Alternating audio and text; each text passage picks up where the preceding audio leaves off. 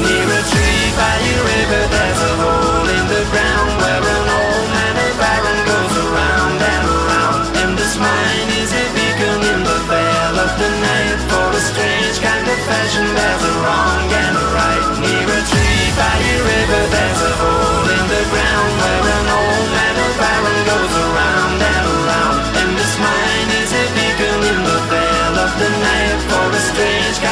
passion, never wrong and right.